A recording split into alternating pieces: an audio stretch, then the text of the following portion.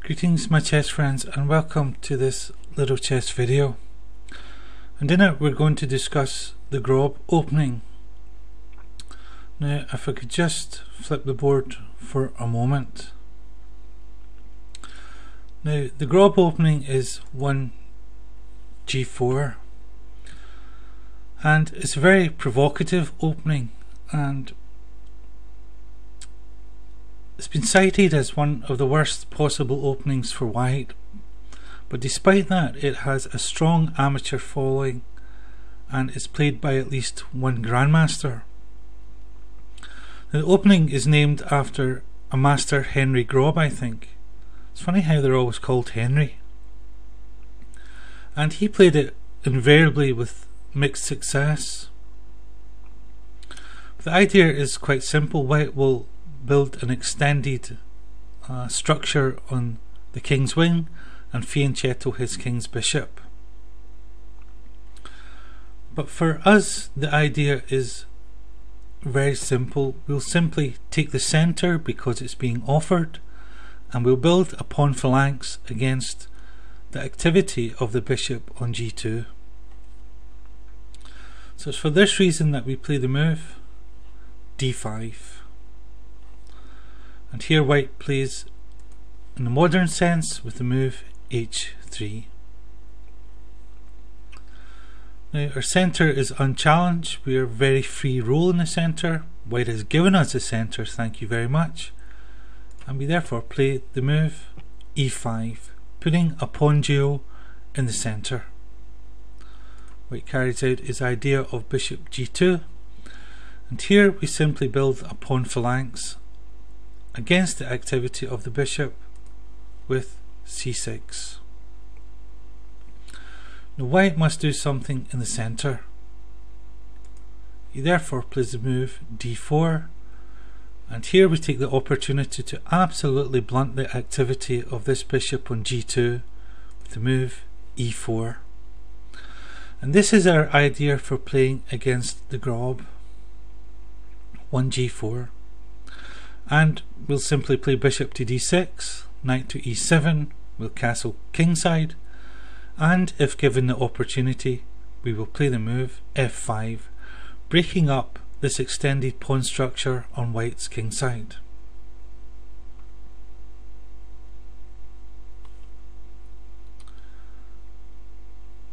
Now, I'd like to introduce to you a game, a Grandmaster game and with white pieces is Michael John Basman and with the black pieces is the famous or rather infamous Raymond Keene and Grandmaster Keene shows how to handle this position excellently. And the game continued with the move c4 and Grandmaster Keene continued with her idea bishop d6 knight c3 was played and here he played knight e7 and he writes this is a powerful gambit which casts doubt on white's whole opening